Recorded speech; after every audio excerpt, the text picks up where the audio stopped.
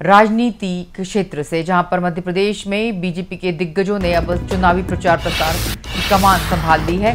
CM doctor Mohan Yadav का छिंदवाड़ा का दौरा रहेगा, साथ में नरसिंहपुर भी जाएँगे। बीजेपी प्रदेश अध्यक्ष वी शर्मा का कटनी का दौरा रहेगा। ज्योतिरादित्य सिंधिया गुना में चुनावी प्रचार प्रसार करेंगे।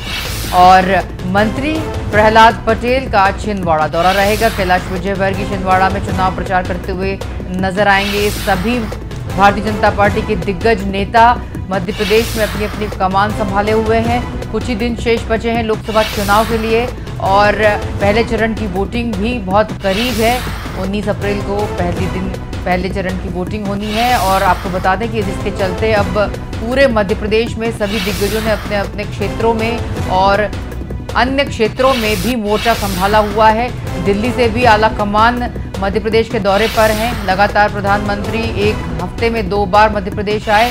और अमित शाह भी मध्य प्रदेश आए और इसके साथ ही मध्य प्रदेश के मुख्यमंत्री डॉक्टर मोहन यादव और साथ में सभी मंत्रीगण और नेता सांसद सभी यहाँ पर अपने अपने क्षेत्रों में प्रचार प्रसार करेंगे। आज छिंदवाड़ा में रहेंगे कैलाश विजयवर्गीय, प्रहलाद पटेल भी छिंदवाड़ा में रहेंगे, ज्योतिरादित्य सिंधिया गुना जाएँगे और बीजेपी प्रदेश अध्यक्ष वी शर्मा कटनी में दौरा करेंगे।